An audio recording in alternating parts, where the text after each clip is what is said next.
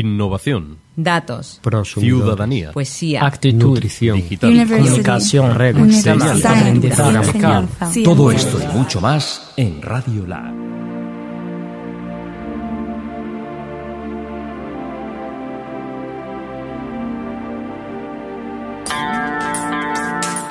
Pues aquí seguimos haciendo esta ronda de llamadas a toda la gente que va a participar y que está participando en esto que hemos dado en llamar Unimpública, es decir, eh, una especie de reflexión colaborativa sobre cuál es el papel de la innovación pública en las universidades. Y ya tengo ahí al otro lado de la pantalla a Rita Grandinetti, que es directora del Polilab de la Universidad Nacional de Rosario. Muy buenas tardes aquí en España y buenos días allí en Argentina, Rita. Hola, ¿qué tal Javier? Buenos días, ¿cómo les va? Compartiendo más allá de la distancia esto, esto del encierro que es tan particular, que nos atraviesa de esta manera tan particular, ¿no? Pero bien, aquí estamos. Muy bien, por lo menos nos sirve también para conectar a distancia, pero conectar igualmente. Eh, Rita, eh, tú participas en esto que hemos venido en llamar, como decíamos al principio, una impública.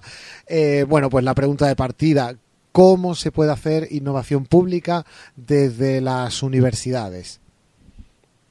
Sí, Mira, para nosotros en realidad ese es el gran objeto del Polilab. El Polilab es un laboratorio de innovación pública. Estamos convencidos que gestionar lo público requiere hoy innovación. ¿sí? Sin duda venimos trabajando en esto desde hace mucho a través de, investigaciones, de proyectos de vinculación tecnológica y demás.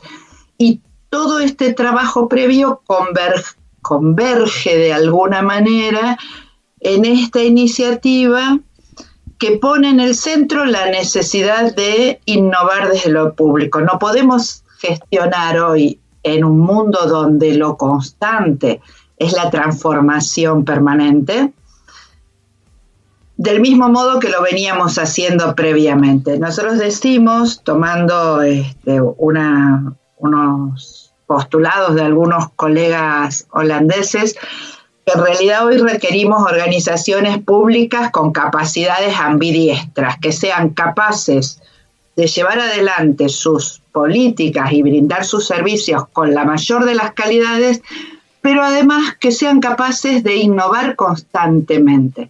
De otro modo, no pueden satisfacer las necesidades que tienen los ciudadanos y mucho menos plantear alguna direccionalidad, alguna construcción que tenga que ver con valor común, con, este, con valor público, con valor social en estos contextos. En ese sentido, creemos que la universidad tiene un rol fundamental como un actor que puede jugar en la innovación un rol destacado no el único, porque partimos de, desde postulados que tienen que ver con la innovación abierta, la innovación como resultante del entrecruzamiento de miradas, pero ahí la, universidad tiene que estar porque tiene un saber particular para poner en juego y, creemos que, no puede apartarse de, ese lugar, con su propia identidad, digamos, eh, no transformándose en otra cosa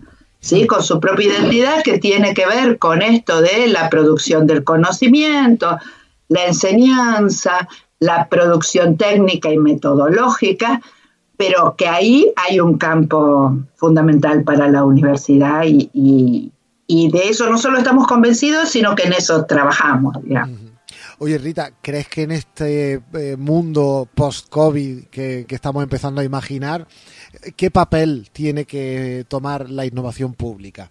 Eh, ya digo, en, lo que nos queda por hacer a partir de ahora. Bueno, estos días hemos, como vos decías antes, al comienzo, han sido días donde estamos paradójicamente cada uno en nuestras casas, pero quizás más conectados que nunca, ¿no? Y hemos reflexionado esto con colegas de, de distintos lugares del país, de Latinoamérica, con colegas españoles, portugueses también, y, hay un, acuerdo muy fuerte en dos o tres cosas. Uno, sin duda es que esto del COVID ha sido un gran, gran, gran acelerador de procesos innovativos y cuando decimos procesos innovativos, decimos esto, cómo buscamos soluciones nuevas a desafíos que nos plantea el contexto. ¿Sí? soluciones nuevas. a ser innovadores. Exactamente, nos ha obligado a ser innovadores, nos ha puesto ahí, nos ha obligado y en eso aceleró mucho y ha desnudado también. Entonces, ha desnudado lo mejor, quizás este, proyectos, experiencias, técnicas, modos de trabajo que eran como marginales o de un grupo de, de, innovadores que tenían ganas de hacer las cosas distintas o de gente que lo venía trabajando mucho pero no se prestaba atención. Han cobrado valor y digo, y en eso pienso por ahí eh, muchas veces algunos proyectos de digitalización, algunos proyectos de trabajo transversal en red y demás, que a lo mejor ocupaban lugares mínimos, de golpe uh, estaba esto, nos viene bien para acá, retomemos lo de allá, el teletrabajo requiere, entonces ha puesto sobre tapete, ha desnudado cosas maravillosas que pasaban y les ha dado una oportunidad cuando a lo mejor no tenían tanto, y por otro lado ha mostrado también las falencias, ¿no? Eh, digo, nosotros trabajamos con distintas organizaciones, hay, hay organizaciones que ya en este contexto pandemia, organizaciones públicas siempre, que son pequeñas, ágiles, dinámicas, que tienen estructurados sistemas para organizar su trabajo y demás, que se han podido seguir desempeñando, cumpliendo sus funciones desde sus casas, cada uno sin vincularse y demás, y lo han podido hacer no sin algunos eh, inconvenientes, pero muy bien, y otras por el contrario Mm. que no han podido hacer nada, que están al día de hoy sin saber. En ese sentido, creo que el POS va a maximizar esto, esto que vivimos acá. Mm. Espero que sea como lecciones aprendidas, que nos permita comprender, eh, porque yo lo que digo es lo siguiente, este fue un proceso absolutamente inédito y vertiginoso, lo del COVID, sin duda, hasta enero no sabíamos que esto existía. En marzo estábamos en todo el mundo encerrados en nuestras casas, o sea, una cosa absolutamente loca. Pero en un mundo que es así exponencial, de transformaciones vertiginosas siempre. O sea, esto en realidad nos muestra el modo más dramático y más fuerte mm. el mundo donde estamos viviendo. Y eso lo sabíamos, lo, por lo menos lo intuíamos, ¿no? Sabíamos que la globalización también era esto. Sabíamos, lo estudiábamos, lo veíamos, lo decíamos, lo, sí, como vos decís, lo intuíamos y, era una intuición informada también y hasta. Mm. Pero de ahí a, a, vivirlo, y esta pandemia nos ha hecho eso, y yo creo que está bueno tenerla presente en ese sentido, no como un hecho excepcional, sino como una muestra de lo que es y desde acá tenemos que aprender para adelante. O sea, qué cosas funcionan en este mundo, es así de vertiginoso y así de interconectado, y en nuestra realidad particular, digamos, no solo en el mundo, mm. y qué cosas ya no van más. Y son estas que explosionaron, quebraron en este contexto. Si seguimos igual, bueno, es desaprovechar una, oportunidad, muy interesante. Mm. Mm. Oye, Rita, ¿qué, más cosas hacéis por ese Polilab allí en la Universidad Nacional de Rosario? Alguien que no conozca esa institución, ¿cómo podemos explicarle en qué trabajáis vosotros por allí?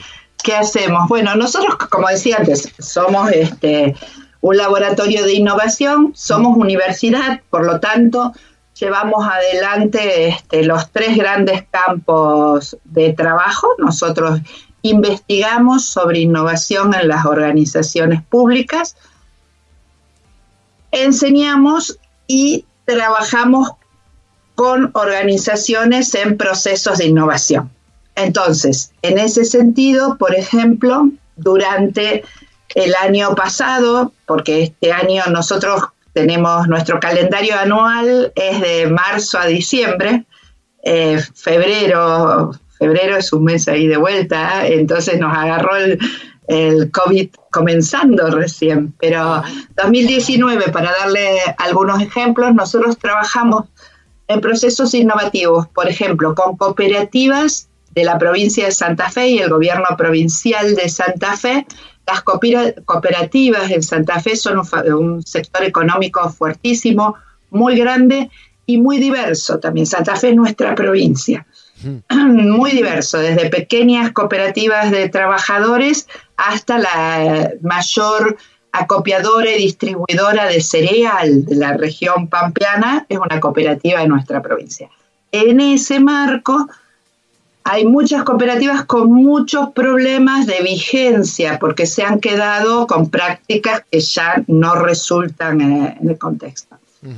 Entonces, gobierno provincial eh, nos convocó con un proyecto de vinculación tecnológica, trabajamos con las cooperativas, con, eh, con lo que se llama EduCop, que es un área de, educación para cooperativas, diseñando con ellos una trayectoria de formación de innovadores en cooperativas que fue súper interesante. La diseñamos y, la ejecutamos y de hecho cuando terminamos ya muchas de las cooperativas habían puesto en marcha proyectos innovadores algunos de transformación de su organización, otros de transformación de sus productos, otros de construcción de redes. La verdad que fue un proyecto interesantísimo 2019.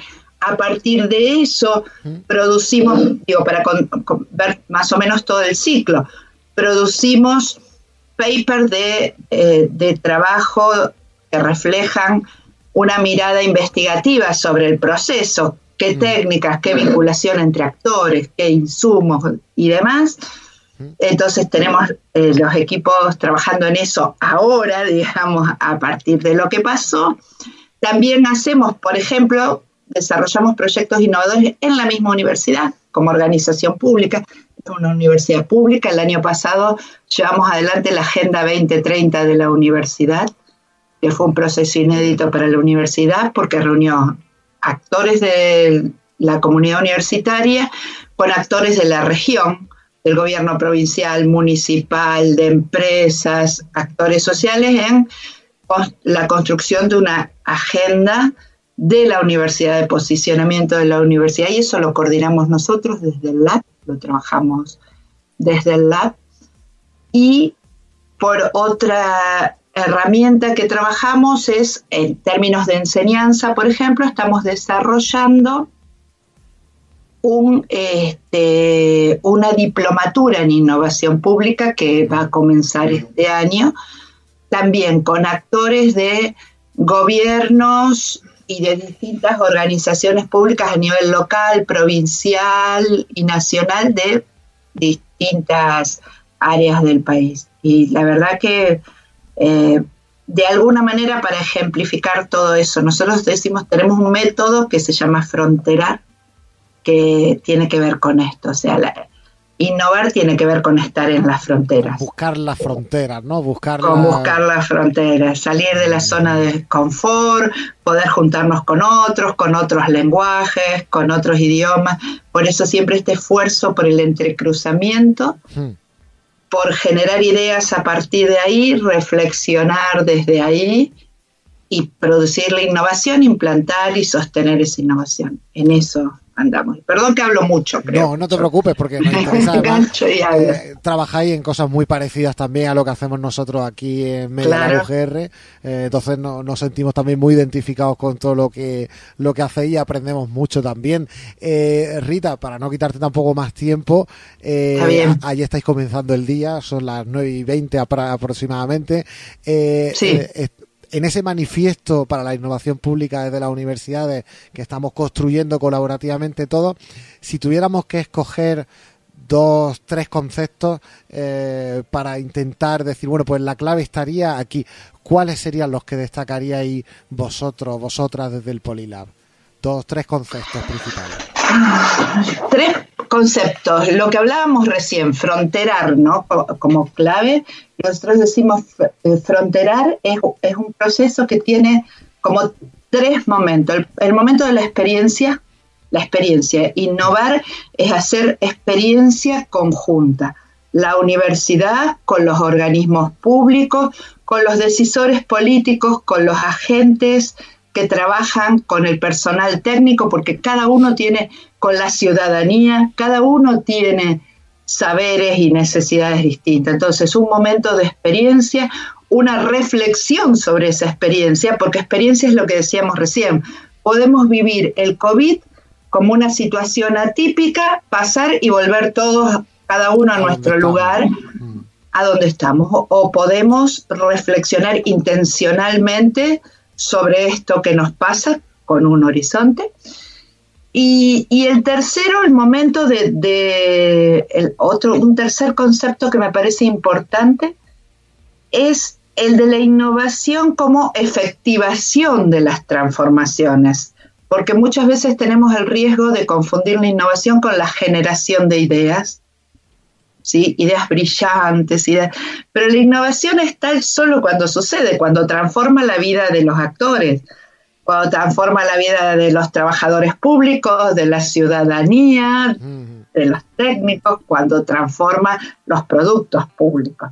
Y en ese sentido ahí pongo dos cositas más, vos me dijiste tres, pero creo que es esto, es experimentar, reflexionar e innovar como práctica, digamos, como afectividad, en un contexto de una dirección social, de una direccionalidad social, de un valor público que queremos conseguir. Muchas veces nos quedamos en la innovación como metodología. ¿No parece claro cuál es el objetivo? Claro, ¿cuál es la meta que queremos? ¿Cuál es el valor social que acordamos hacia dónde vamos? ¿Cuál es la sociedad que estamos diseñando y construyendo ahí? Entonces, el valor social y estos procesos ahí de la innovación social, ¿cómo funcionan de alguna manera como transformadores de las relaciones de poder preexistentes? ¿Qué voz damos a los que tienen menos voz? ¿Qué poder damos a aquellos que tienen poco poder per se? de qué manera la innovación ayuda a construir una sociedad más igualitaria y más democrática en el proceso. Eso me parece que es, un desafío muy grande, porque muchas veces muchos procesos innovativos nuestros, que decimos son públicos, en realidad son reuniones de técnicos que hablamos más o menos y nos conocemos, como decíamos recién, y demás, o que refuerzan este, algunas situaciones eh, de poder preexistentes que quizás no son las más democráticas o las más igualitarias. Y en ese sentido la innovación creo que también tiene que tener una marca importante. Se entiende perfectamente. Rita, muchísimas gracias por compartir esa visión que tenéis desde, desde allí, porque bueno, estamos lejos en la distancia, pero conceptualmente estamos muy, muy, muy cerca, compartimos muchas de esas ideas y nos encanta que podáis compartirlas con nosotros, con nosotras a través de estas pequeñas entrevistas. Pero bueno, luego las compartiremos este 21 y 22 de mayo en ese encuentro virtual que estamos preparando. Tendremos tiempo para charlar sobre todo esto y muchas más cosas eh, con gente como Rita Grandinetti, directora del Polilab de esa Universidad Nacional de Rosario. Rita, muchísimas gracias por compartir ese ratito con nosotros y nada, que hablamos pronto. Dale, Javier, muchísimas gracias a ustedes y seguimos en contacto, claro que sí. Saludos desde el sur.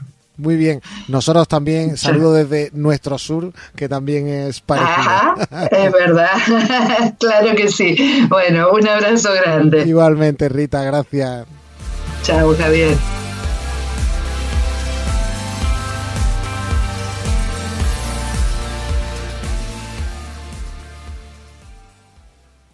Radio Lab UGR, Radio Universitaria para el Ciudadano Conectado.